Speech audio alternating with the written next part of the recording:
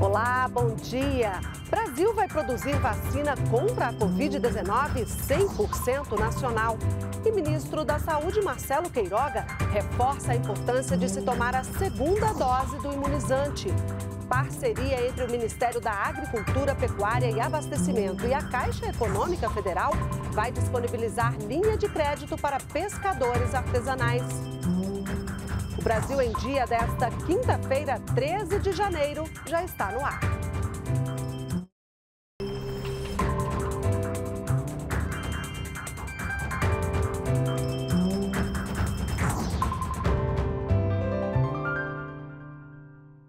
São 8 horas da manhã, estamos ao vivo também pelas nossas redes sociais. Chegou ao Brasil nesta madrugada a primeira remessa de vacinas da Pfizer contra a Covid-19 para crianças de 5 a 11 anos de idade. O repórter Dimas Soldi acompanhou o desembarque da carga no aeroporto de Viracopos, em Campinas, São Paulo, e nos traz as informações.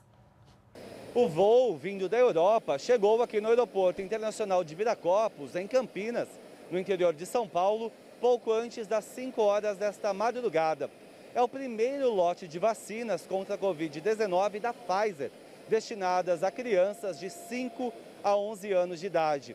Este primeiro lote é de 1 milhão e 200 mil doses. Até o final deste mês, a previsão é que cheguem mais lotes, totalizando mais de 4 milhões de doses só em janeiro. De acordo com o Ministério da Saúde, o público estimado é de 20 milhões de crianças em todo o país. A vacinação será realizada por faixa etária, com prioridade para crianças com comorbidade ou deficiência permanente. A vacina da Pfizer para crianças foi autorizada pela Agência Nacional de Vigilância Sanitária, com intervalo de oito semanas entre a primeira e a segunda dose. As vacinas serão distribuídas de forma proporcional aos estados. A variante Omicron tem preocupado autoridades de saúde, mas, segundo o ministro Marcelo Queiroga, o país tem boa infraestrutura caso haja uma piora de cenário. De acordo com o ministro, completar o esquema vacinal e tomar a dose de reforço são as principais ações para impedir o avanço da nova cepa da Covid-19 aqui no Brasil. O melhor instrumento para enfrentar a variante Omicron do coronavírus continua sendo a vacinação. O alerta é do ministro da Saúde que pede que os brasileiros completem o esquema vacinal e também tomem a dose de reforço. A principal ação, sem dúvida, é a campanha de vacinação, ampliar a dose de reforço.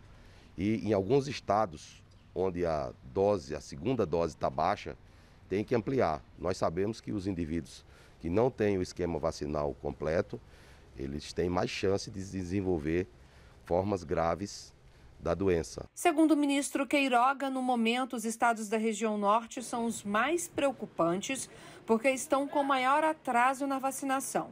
Por outro lado, o governo federal tem hoje melhor estrutura para atender situações de emergência, caso aumente a necessidade por oxigênio nos hospitais ou haja necessidade de reativar leitos hospitalares.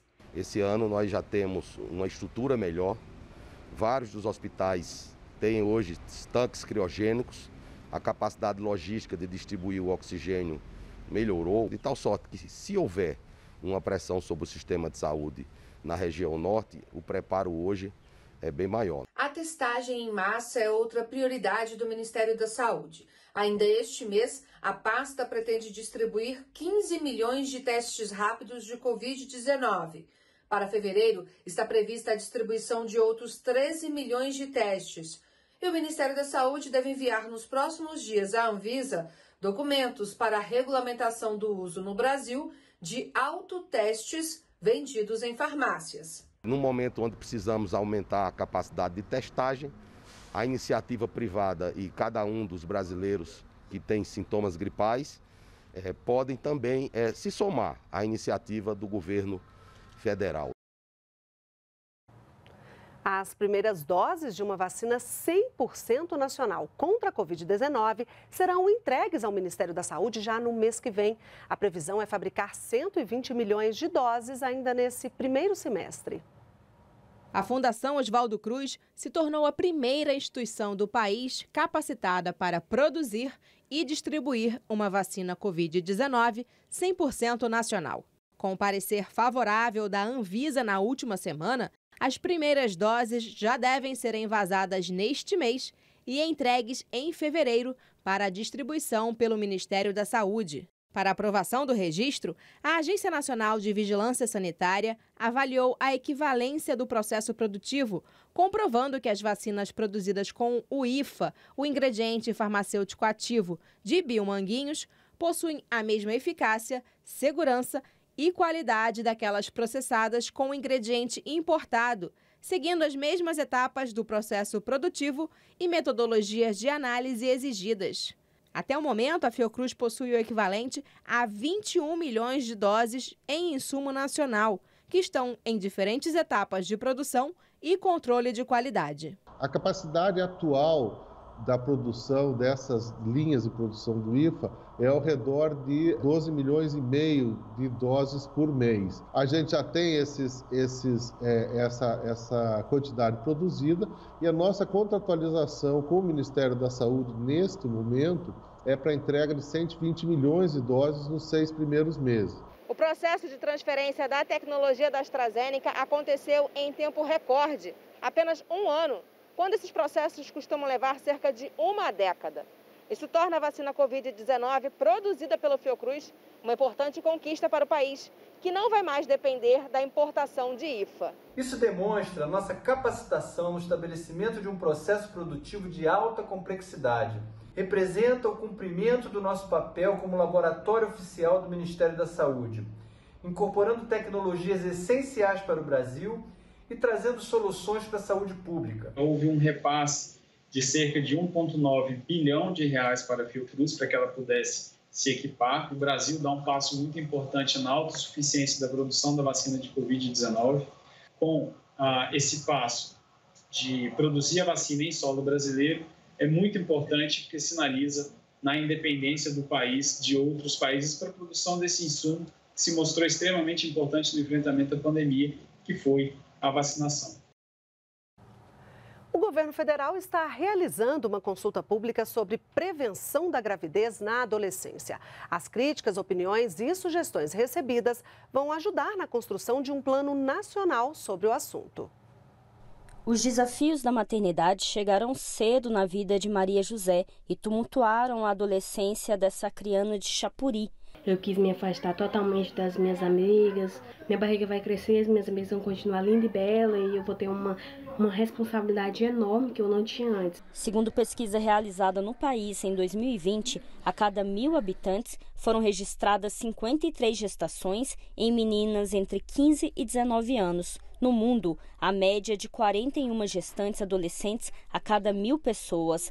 A idade transforma a gravidez em um caso de risco à saúde das jovens, prejudicando a formação profissional e até mesmo a inserção no mercado de trabalho.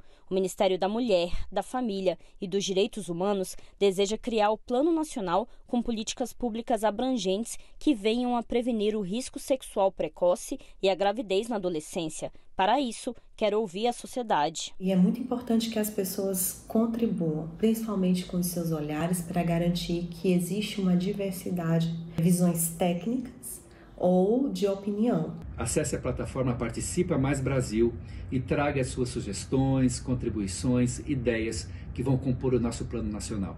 Dessa forma, você vai ser um ator que vai estar ajudando a transformar a realidade das nossas crianças e adolescentes em um ator na defesa dos seus direitos. Lembrando que o prazo para participar da consulta pública vai até amanhã, sexta-feira. Para contribuir, acesse o endereço virtual da plataforma Mais Brasil, esse que aparece aí na sua tela. Pescadores artesanais e aquicultores terão mais opções de crédito. Uma parceria entre o Ministério da Agricultura, Pecuária e Abastecimento e a Caixa Econômica Federal vai disponibilizar recursos para financiar a atividade em todo o país. As novas linhas de crédito são destinadas a pescadores artesanais que fazem parte do Programa Nacional de Fortalecimento da Agricultura, o PRONAF. Cada pescador poderá contratar até 250 mil reais para a compra de equipamentos de captura e conservação de pescado e até 200 mil reais para investimento. O empréstimo para custeio poderá ser pago em até 12 meses. Já o crédito para investimento poderá ser dividido em até 120 meses. A taxa de juros é de 3% ao ano. A concessão de crédito pretende contribuir para o desenvolvimento da economia nas regiões próximas à costa, rios e lagos, apoiando principalmente pescadores artesanais. Desse crédito para pescador artesanal é muito importante, porque hoje uma rede profissional nossa dura dois anos é. e a gente não tem como comprar outra. Vai ser uma ajuda muito grande para os pescadores e para investir no, no, material de pesca que está caríssimo. O Ministério da Agricultura, Pecuária e Abastecimento também lançou o edital para a concessão de sete terminais pesqueiros públicos, localizados em cidades como Aracaju, Belém e Manaus. A expectativa é gerar mais de 2.400 empregos diretos e indiretos e beneficiar mais de 59 mil pescadores artesanais. Estruturas que custaram aos cofres do Brasil quase 300 milhões de reais parados e que agora, junto com essa grande ação da Caixa Econômica de Financiamento, vai poder oferecer estrutura para desembarque, para óleo diesel, para gelo. O governo anunciou ainda a cessão de uso de águas da União para a instalação da primeira piscicultura marinha do Brasil, localizada na costa de Ilhéus, na Bahia. O empreendimento vai receber investimento privado de 60 milhões de dólares, mais de 340 milhões de reais. Isso realmente nos ajuda não só em divisas, mas especial ao abastecimento interno do nosso país, a combater a fome, a combater a pobreza, porque isso dá emprego também. E em entrevista ao programa de rádio A Voz do Brasil, o presidente da Caixa Econômica Federal, Pedro Guimarães, deu mais detalhes sobre essas novas linhas de financiamento para pescadores artesanais e pequenos piscicultores de todo o país. Nós temos mais de 20 bilhões de reais de linhas para oferecer. Nós estimamos um milhão de pescadores em especial aqueles mais carentes, menores pescadores e aquicultores, ou seja, que criam, por exemplo, tilápia ou camarão num lago normalmente pequeno. Os produtores rurais têm um novo instrumento para terem acesso a políticas públicas do governo. É o Cadastro Nacional da Agricultura Familiar, que entrou em vigor no dia 31 de dezembro e vai substituir de forma gradativa a declaração de aptidão ao PRONAF. A inscrição é gratuita e pode ser feita pela internet. As mudanças no cadastro devem trazer melhorias para um setor fundamental no país, a agricultura familiar.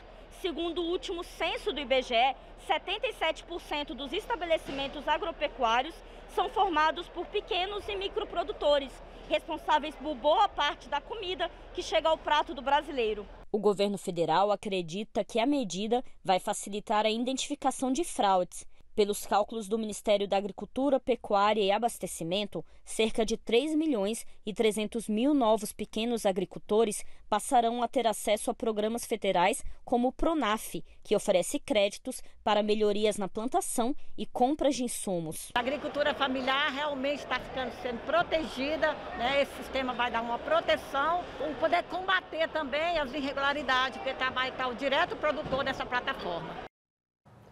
Para rever as reportagens de hoje, acesse as nossas redes sociais. Muito obrigada pela companhia. Para você, um ótimo dia e até amanhã.